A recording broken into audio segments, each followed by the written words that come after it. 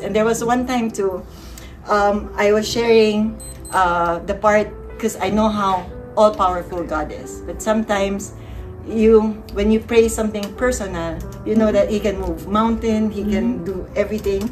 But when it comes to you sometimes like so i was like sharing um, the the verse where the father said i believe help my unbelief. Every church that we went to uh, I can really feel the Holy Spirit. But one time, what, what this one church, I think it was late already, and it was when I was talking, I was just, I, I, I was like, um, thank you for welcoming us. I feel that this is a very motherly church, and, and then I sat down.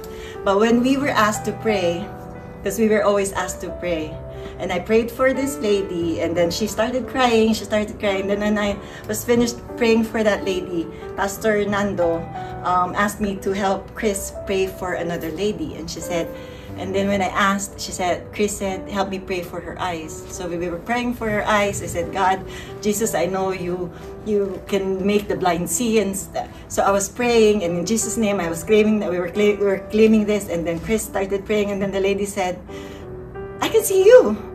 And then she faced Pastor Nando. She said, I can see you, I can see you. And she started crying, and I was just taken aback. I didn't know how to react. I didn't know what was happening. And I was just started crying like I got overwhelmed so it was like